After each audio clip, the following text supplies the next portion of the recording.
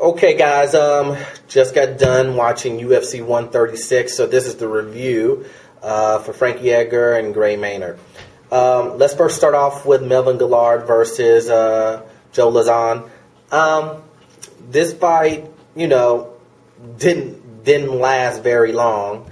Um, you know, it only lasted 47 seconds. Stand, you know, first it was on the feet, then it, you know, Guillard got taken down and got choked out, rear naked choke in the first round, 47 seconds. That's that. Um, next fight is Leonard uh, Garcia versus Nam Phan. Um, this one basically turned out like I thought it would, guys. Um, it was kind of a, it was just a repeat of the uh, of the of the first fight. Um, you know, a guy who's a heavy, heavy-handed guy, no real technique when it comes to the stand-up, kind of like a brawler. And then you have Nam Phan, who pretty much uses a more technical uh, Western boxing style um, for his striking. And, you know, uh, like I said in my predictions, it was just, you know, obviously Garcia will end up, you know, not all the time, but in this fight he ended, you know, um, landed a couple of those those shots and whatnot. But in the end, after he tired out and gassed out from throwing all those heavy, wild punches, he just got picked apart by Nam Phan. So um, Nam Phan wins the wins by unanimous unanimous decision. Um, and uh, but it was a very entertaining fight to watch. It really was. Um, so then the next match we have is Chael Sonnen versus Brian Stann. Um, this fight happened exactly like I thought it would too. Uh, Chael Sonnen basically went out there and wrestled him to death and held him on the ground, uh, ground and pound. He just didn't give Brian Stann any chance to stand up with him.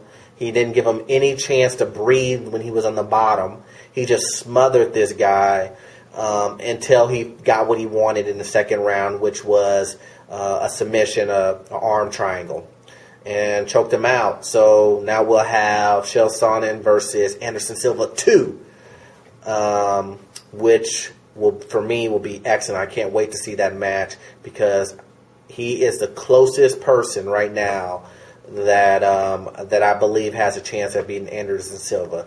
Not that I want Anderson to, to, lose or anything like that. I just like to see people challenged in, in fights, and I like to see good fights.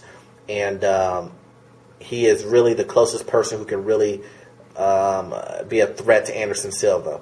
So that fight, they were kind of doing a promotion, you know, showing Anderson Silva and his reaction and all this other stuff. So um, can't wait to see that fight. I don't know when they're going to schedule it, but it's going to happen, guarantee, guys.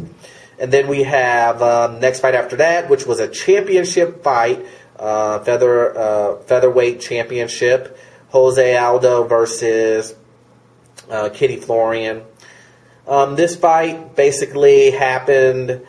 Uh, you know, Kenny Florian was kind of depending on a stamina type thing with um, Jose Aldo, and everybody was. I, I, saw, you know, his stamina in his last match, but like I said, it could have been contributed to um, gaining that muscle that he had that he had gained and trying to get back down to that 145.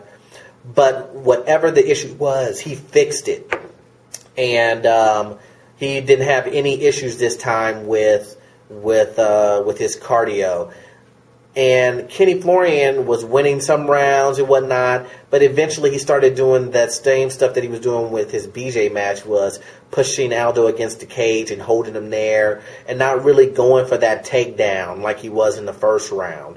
Um, and he kind of just started to throw lazy jabs and stuff like that, and Aldo started kicking his legs and you know and all this other stuff, and pretty much Aldo ended up just um, you know, beating him up the whole after the first round, just beat him up, beat him up, beat him up, and um, get him on. And then when he did, when they did go to the ground, Aldo was on top of Florian all the time. So you know how that looks to the judges. Even though Florian um, didn't allow Aldo to get in two dominant positions, he kept him off of, of the mount by just letting him only only get a, a knee overpass or um, in, in in the mount, which isn't a full mount. Um, but he sometimes did get a full mount in the later rounds.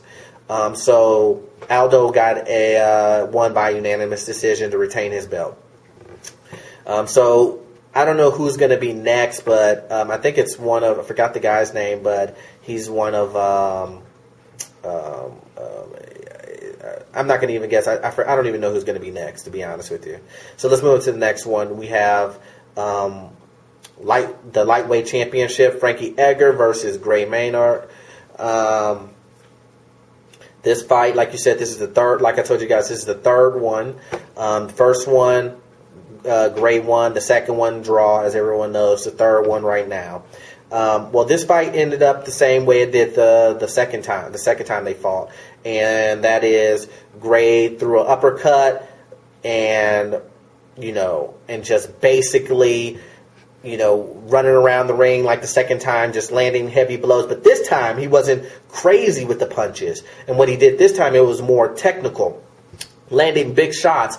But first, he just couldn't get, you know, Frankie Edgar to, to, to lay down. He was getting hit with knees and, you know, just, and just everything, just, you know, throwing right uppercuts, you know, crosses, knees, and and everything. And Frankie Edgar, I mean, his nose was just gushing blood, and he you saw that he was on his last leg, and it, at least it looked like he was on his last leg, and he just would not go down, and you know he held on until the end of the first round, um, like he did in the second second time they fought, and then he comes back in the second round and gets back into the of, steam of things like if he, like he never got hurt. I swear this guy has like mutant powers or something, like a healing factor because he healed. Um, I mean, he basically got you know recovered extremely quick from that beating. He took a literally a beating, guys, in the first round, and then he gets in the second round, and um, he's back to normal again. You know, moving around, great movement, great footwork, head movement, everything. Um, and then he does the same thing in the third round. Great head movement, da da da da. And then, um, and I'm thinking to myself, I'm just yelling at the screen like, Gray, take him down. You're the better wrestler. He's all, these guys are always trying to prove that they're better than the thing that that the than their base. If you're if you've been a collegiate wrestler for Olympic style, you know, went to the Olympics and win everything like that, and your base is wrestling, and that means you're better than 95% of the guys that you go against.